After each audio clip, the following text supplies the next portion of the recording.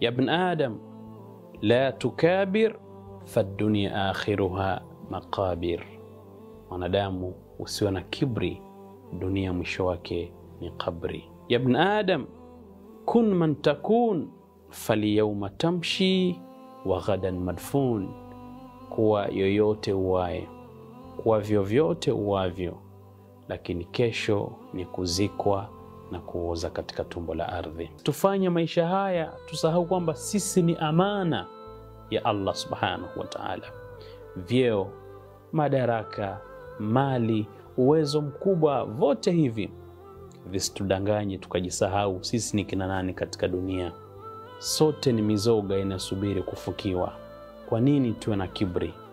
Hatuna sababu ya kuwa na kibri, hatuna sababu ya kuwadharau viumbe wa Mwenyezi Mungu.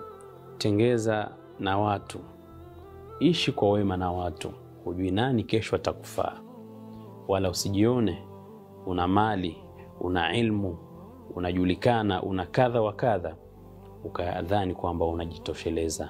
Tuishi kwa wema, tupendane, tusameheane, maana hakuna anayejua kesho yake itakuwa vipi.